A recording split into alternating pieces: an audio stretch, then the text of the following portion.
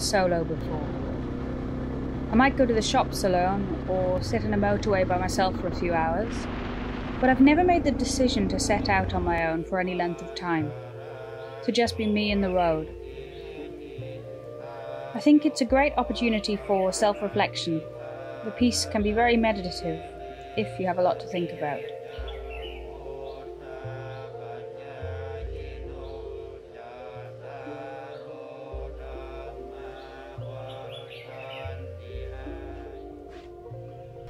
ไปเชียงใหม่ by by by โดยปุย โดยอินทนนท์ เราจะไปโดยถนน but ถน โดย น ปุย นี้ โดยปุยนี่อันนี้โดย โดยพุยโดยพุยแล้วก็ เออได้ได้ได้เหมือนกัน โดยอินทนนท์ ได้เออได้ Typically, I'll ride with someone else. Perhaps you already know that. I don't have the mechanical skill to deal with breakdowns, and riding together can give you a lot more confidence to head into the unknown.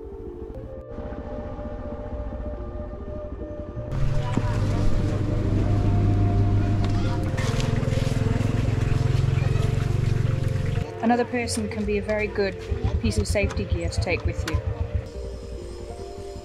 Perhaps the road ahead becomes too difficult or you make a mistake. As a pair, you can always tackle the what ifs, you can live with the anxiety. On your own, you need to work more on stress avoidance. Around knowing when the road you're on is worth the risk and when you'll have a better time, turning around, putting it behind you, and riding back.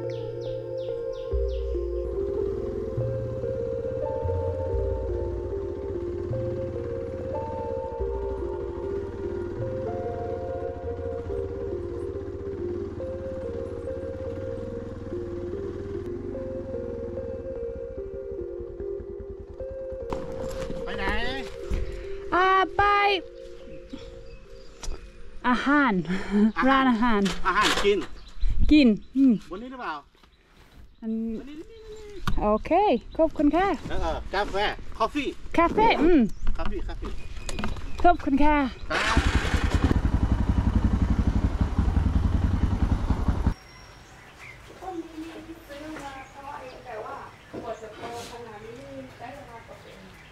That's the thing with those sort of roads. If you're on your own, on the one hand, you don't want to do them because if you get into trouble, you've got no one to help you. But on the other hand, you know yourself, you know your body, you know what you're comfortable with. So there's no pressure about just turning around. Just do what you want and makes you happy.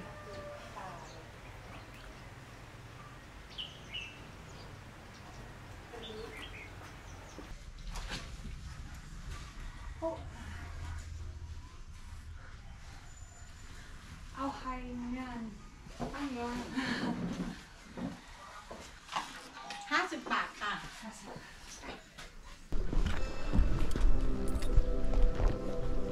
With all my morning's philosophizing done, it's now time to head to Doi Inthanon National Park, where I plan to spend my first night of this solo trip. Tao Rai Ka. 320ครับ Yeah, Sam Roy. No ticket. Ticket you uh, ticket. ไม่มี ไม่มีครับร้อยยี่สิบขอบคุณค่ะสามห้าได้มาด้วยสี่สิบห้าสิบ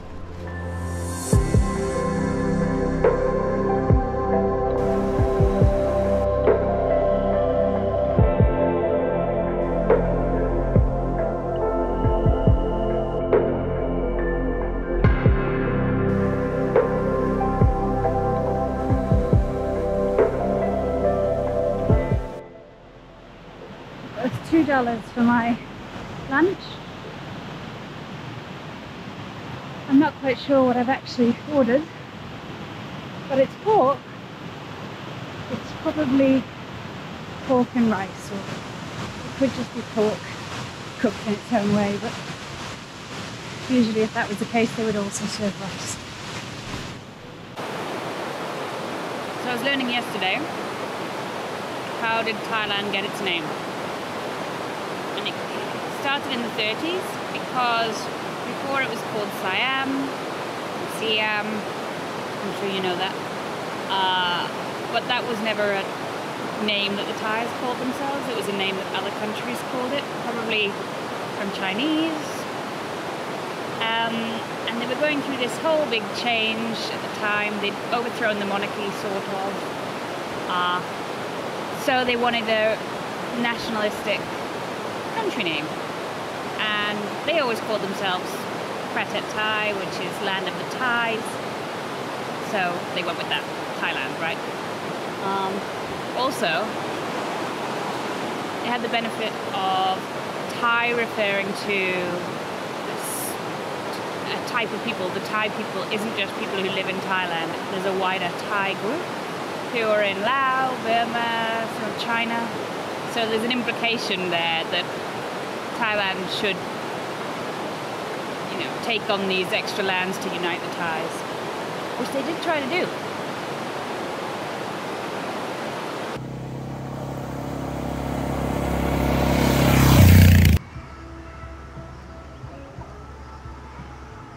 One of the things I was really looking forward to was going camping.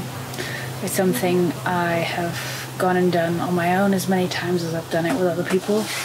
There's something meditative, I think, about sleeping outside, you know. Um, you can hear nature, rain, the music of people nearby even though this is probably more fancy than any tent I've ever camped in before on my own, usually it's a pretty small affair, one and a half man, um, with my bags down the side rammed in. Uh, but I just love it. The next morning, and I'm up early to watch the sunrise from the top of Doi Inthanon. Sunrise here is around 6:30 and there is such joy in riding this time in the morning. The air is cold, the light is beautiful and ever changing as you and the sun both climb up the mountain.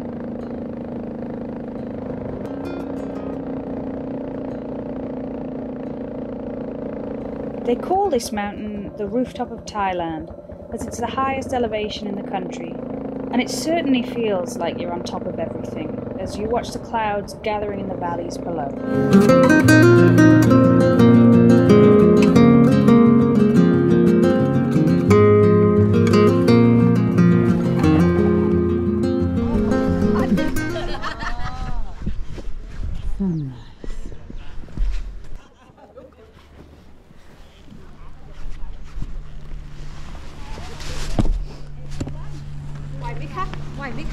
Oh. Up and down. This is exactly what I had in mind when I decided to ride alone in Thailand. I needed some time to myself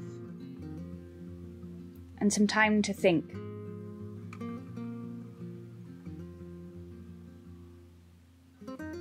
Before I ever got on a motorbike, I used to strap a tent to the back of my push bike and get away from everything and everyone to clear my head. Time in your own company, in nature, and at your own pace. I think it's a wonderful thing, and I can already feel my mood quietly lifting.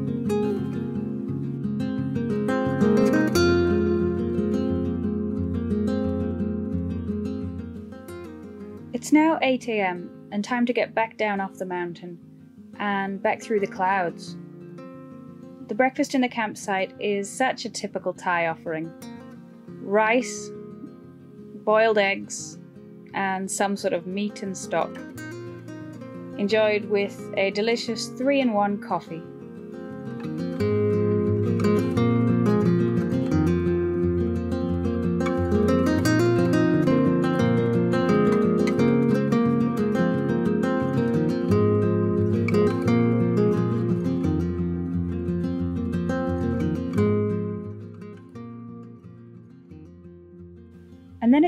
Get going. I'll be joining the Mae Hong Son Loop for the next couple of days, which is a famous Thai route in the mountainous Mae Hong Son province.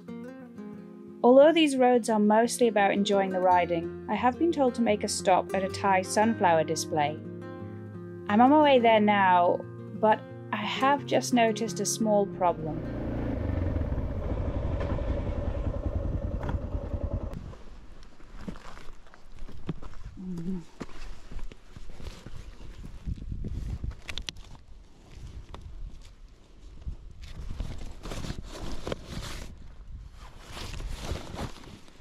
Somewhere in the last hundred kilometers, my bag of swimming stuff has fallen out.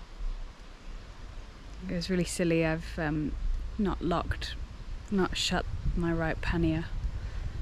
Um, and it was at the very top because I knew I wanted to go to a hot springs today. So I wanted it to be easy to pull out. A bit too easy.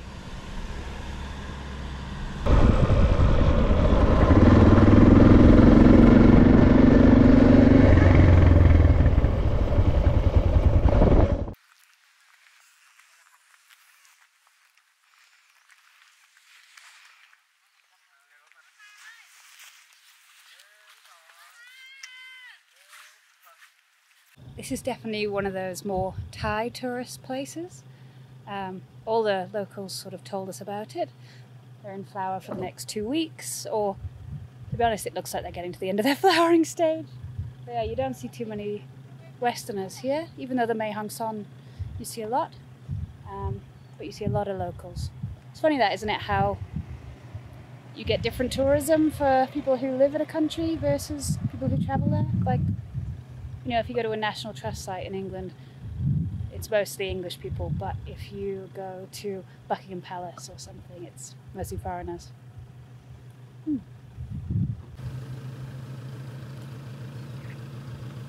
Hmm.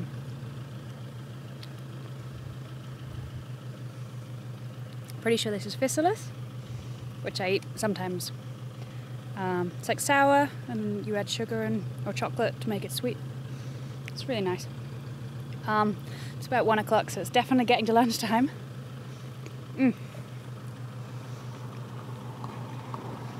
But I'll ride for a while and see where I end up stopping. Um, I was planning to stop at a hot springs today, but now that I've lost my swimmers, I I'm not sure how I feel or the Thais feel about swimming in your birthday suit.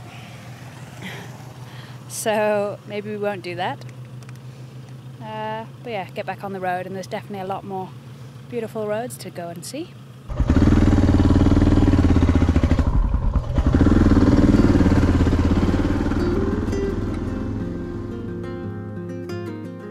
There were more beautiful roads, and I was on my own. And when you're on your own, you're in control. You can ride slowly over ridges. You can stop to take in the vistas. You can take your time because there's only your time to consider. There's no rush, no hurry in making it to your next stop, which, in this case, was a hot spring. They've decided for me. Well, I suppose it's a stroke of good luck. I was so disappointed with losing my gear. And then it turns out you're not even allowed to swim on Wednesdays. So, other than the fact I have to buy all my gear again, it's quite good.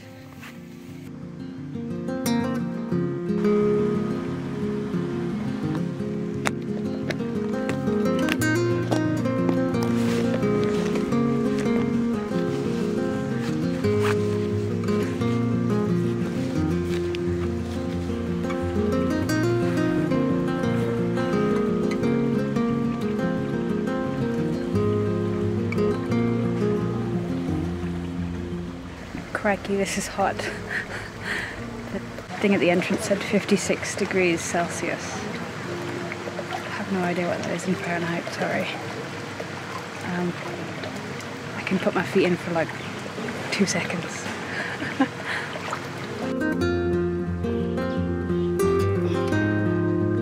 Quite peaceful here with not being able to use it for swimming today. Continue onward, I guess.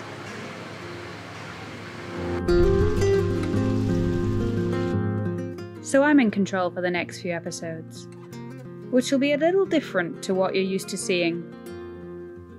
Thank you for watching along with me, and special thanks to Ray and Shelley who've chosen to join our supporters on Patreon. Harry and I appreciate everyone joining us on our journey.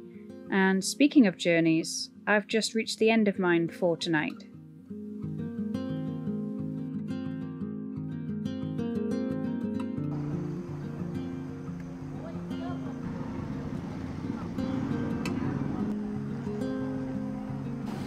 Good reward at the end of today's ride. I'm in a place called Ban Rak Thai, which people always say it's like a Chinese village, which I definitely noticed when I came in. Uh, the place I'm staying, the accommodation reminds me of that story of the guy who goes to the Eiffel Tower to eat lunch every day so he doesn't have to look at the Eiffel Tower. You know, the accommodation itself is pretty ugly looking, but you don't have to look at it. Instead, you'll get to look at this gorgeous view, which is just incredible. Uh, so I want to explore this town a little bit more because it's so unusual. So I'm going to spend a little bit more time here. Um, but for tonight, I'll just get some food. Didn't end up getting my dinner or my snack on the road or whatever I was going to have. By the end of it, I thought, oh, it's only an hour to get here and night's falling. Come down to the waterfront for dinner and everything's really bustling over there and then I walked a little bit further over and I've got a whole restaurant to myself on the waterfront and it's so charming. I don't know anything that they serve but something looked good and it's called Yum Yum Bai Yum Bai Cha which I've never heard of. Even when I google it it brings up like Cambodian food with rice. This is not it looks really good. They brought it over.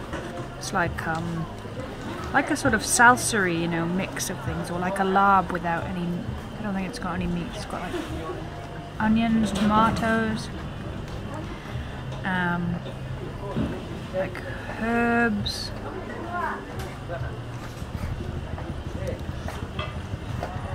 Mmm.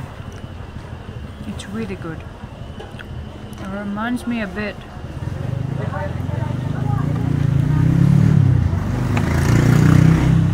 It's very sour.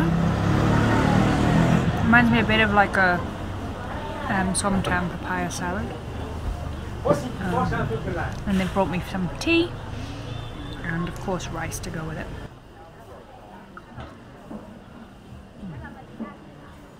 Just realised I've totally lied to you. There's clearly meat in there. Pork, pretty sure. Mm.